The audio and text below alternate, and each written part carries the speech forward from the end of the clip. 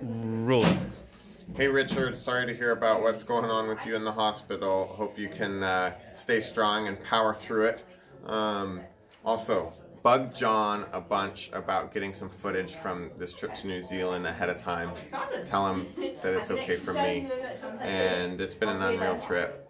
Um, but hopefully, sometime we can meet. Uh, thanks for watching the show, and um, yeah, best of luck to you, man. Cheers, Richard. Thank you, man.